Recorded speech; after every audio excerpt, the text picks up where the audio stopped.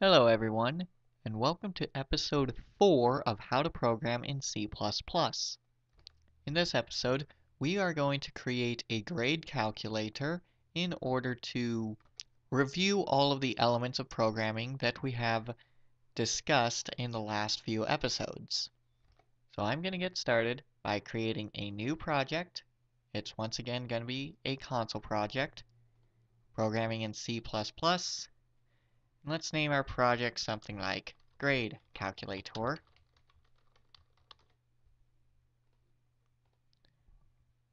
Alright, now let's open up our main file and start programming. So the grade calculator will be for just a theoretical class with, well, I'll just uh, make some stuff up and then we'll just go from there. Oh, so this is the grading structure of our theoretical class where you have homework assignments worth 20%. You'll have two exams worth 15% each, a final, and then a project for 20%. And then, just for testing purposes, let's say five homework assignments. So what we know we need to do is find an average homework the average between the exam. We can use the final grade and project grade as average. And then we just need to multiply it by these percentage values in order to get the final grade. So now, when programming, it's always best practice to know what you need to write down in order to have your desired end result. So what we want is for the user to define scores on each section. So we're going to be using our in and C out statements. And then we want to calculate final grade. And then we want to display final letter grade.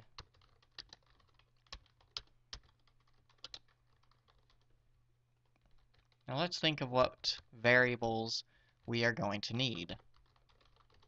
We definitely want one for each of the categories, and they should be of type float because they can be anywhere between 0 and 100, and just for accuracy's sake, we do want the decimal place.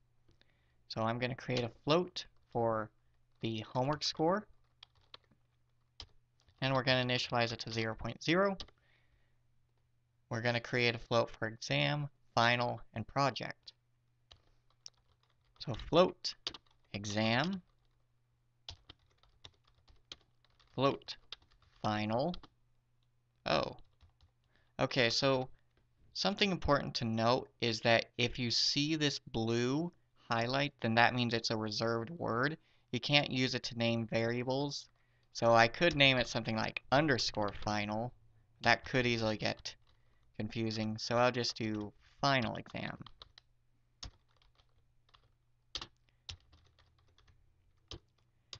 Alright, and then one more for the project.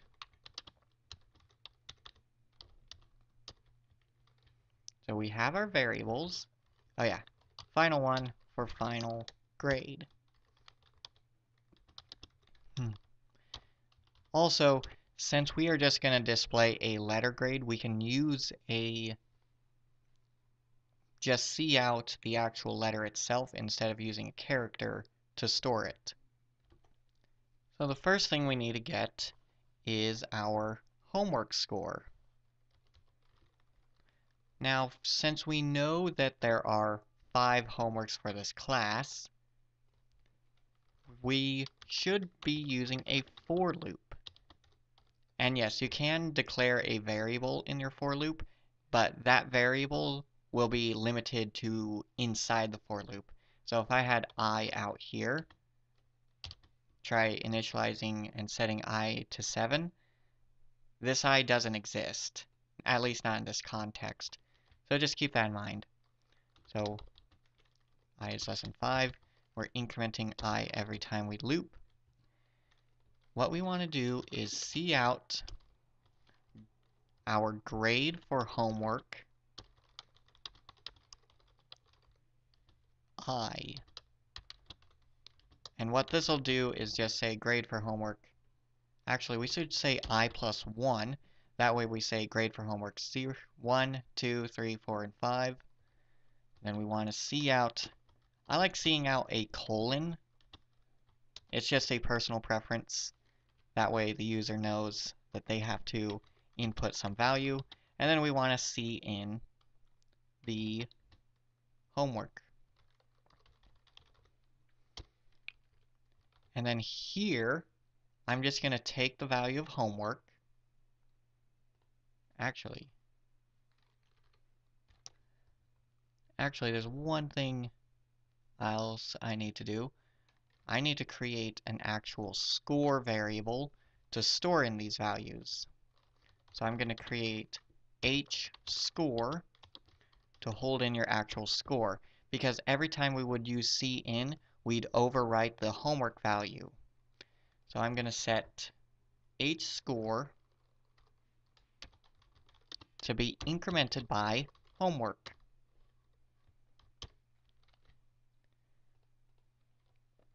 So by doing this, if I were to see in a certain value for h score, every time it would increment h score, and then just to get the average homework score, I'm going to divide it by 5 by using divide by equals and 5. And just to make sure I did this right, I am going to see out homework score and then the value of H score. So let's build and run. Oh, error. Let's see what this says.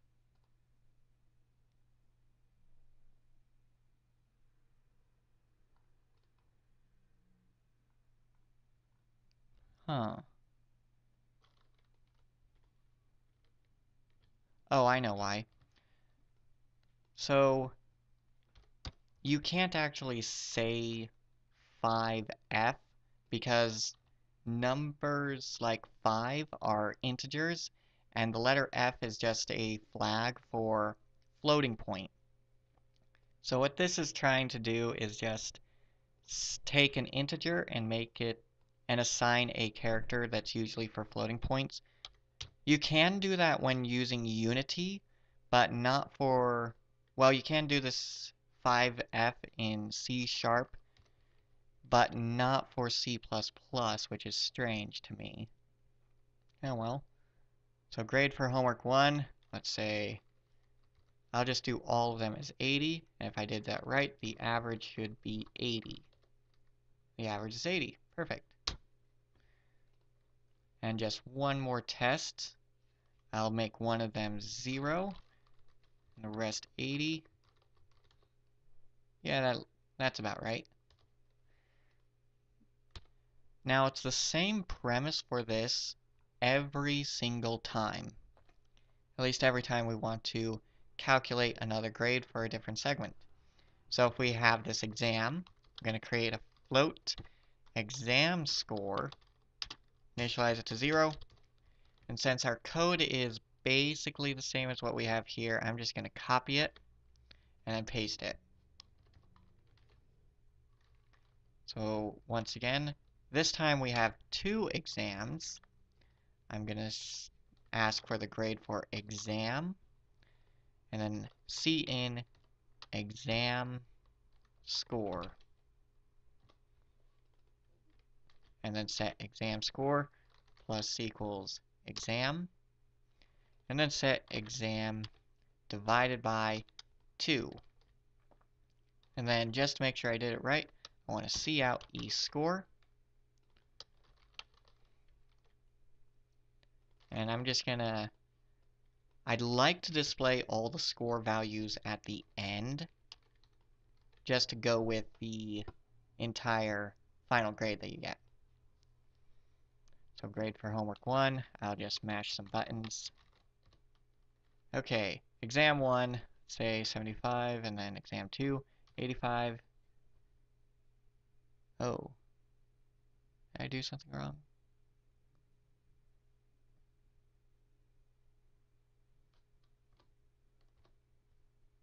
Let's see. Okay, I found my error. I want to see in exam, not e-score. So now when I build and run, and just mash a couple buttons because I don't care about the homework values. So if I were to say 75 for this one and 100 for this one, 87.5, that sounds about right.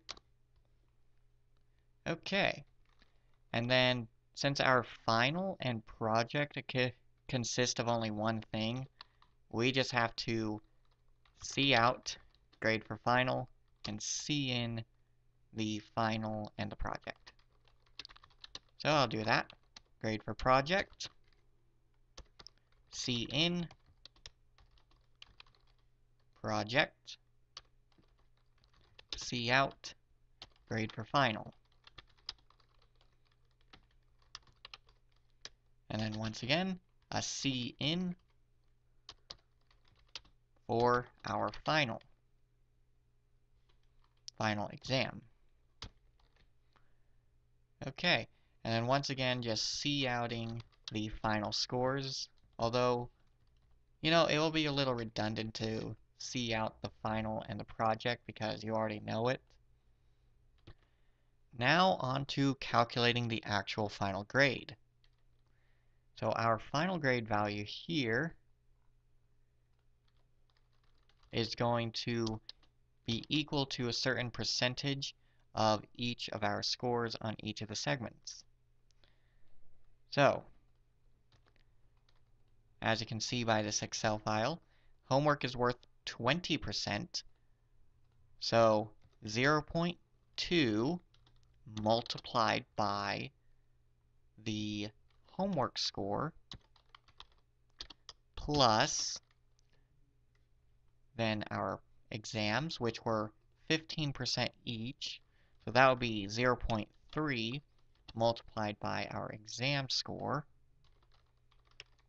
plus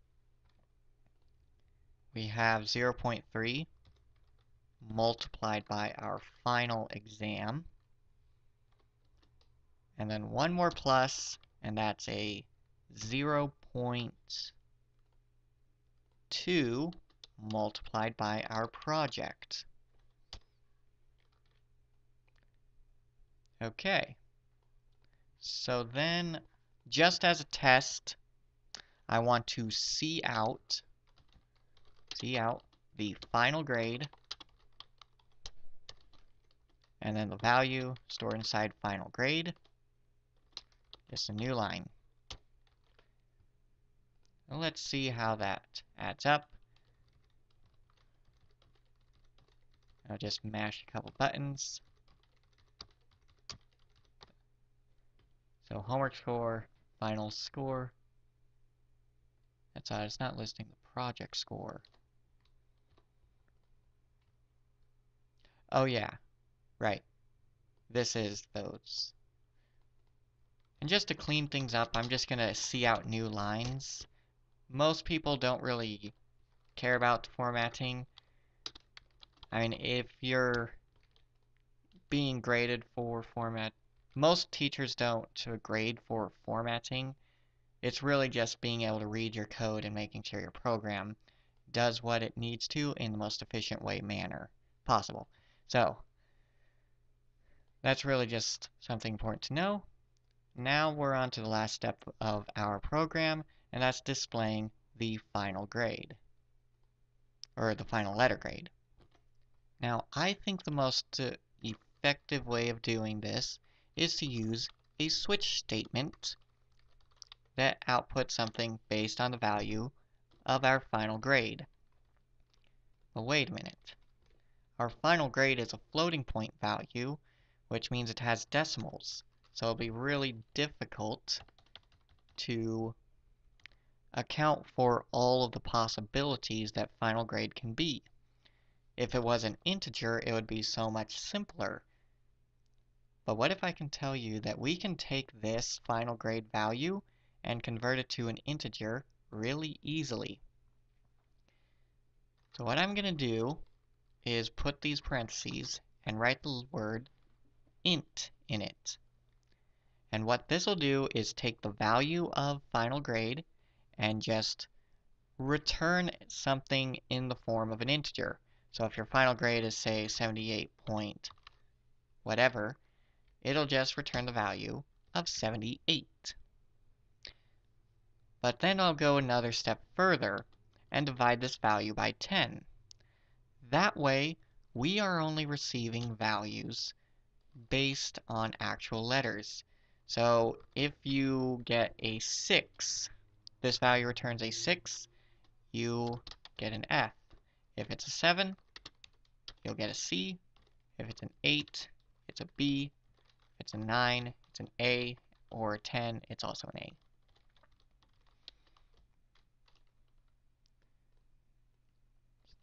Now, knowing that, we can very easily create cases for each of the different possible grades. So a 10, we'll say Cout perfect score. Score, you got an A.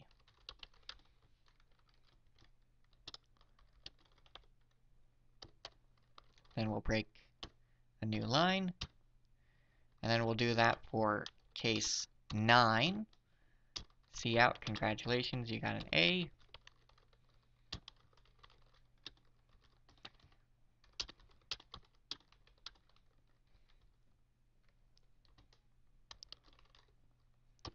And we'll break, and then so on and so forth.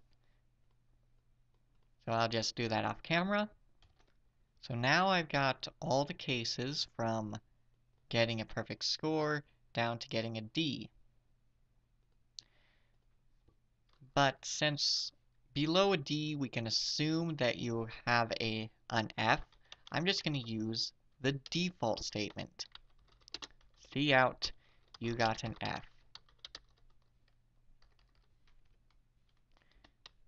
and then we'll new line, and you don't need to break after a default statement. So just keep that in mind. Now I'll just test the program. One for getting, say, an A, so I'll just have values in the 90 range. Oh no, dang it. Gonna have to redo that. So once again, values in the 90 range. And I'll just be sure to spread them about. Congratulations, you got an A. And then let's try grades in the 70 range.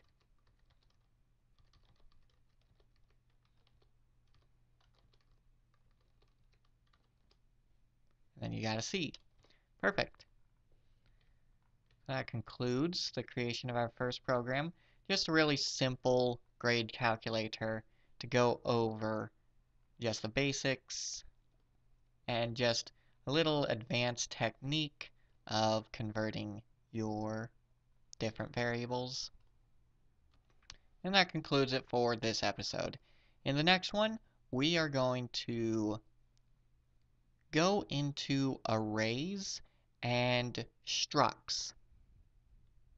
So on that note, thank you for watching, and I hope to see you in the next one. Goodbye.